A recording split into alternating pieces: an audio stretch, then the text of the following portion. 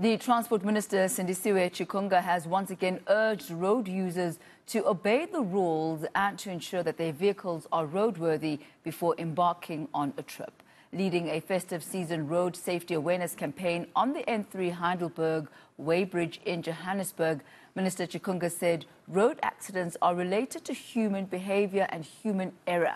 She speaks to us now from Pietermaritzburg. A very good morning to you, Minister. Thank you very much uh, for your time.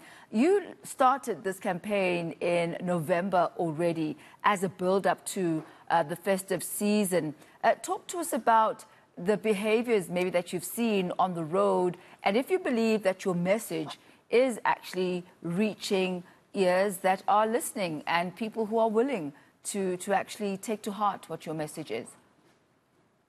Uh, let me greet your viewers and yourself, and thank you for having us this morning.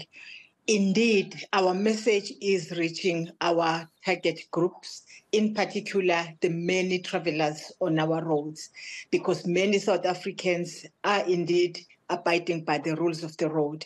However, there are those who are just not prepared to change that lead to many accidents, some of them that are fatal, and others that lead to serious injuries sustained by road users.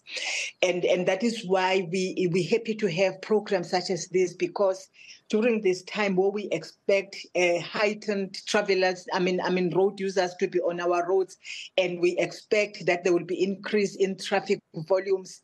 We therefore want to alert on a continuous basis our road users on issues that may actually lead to accidents. One of those that we actually have seen is speeding.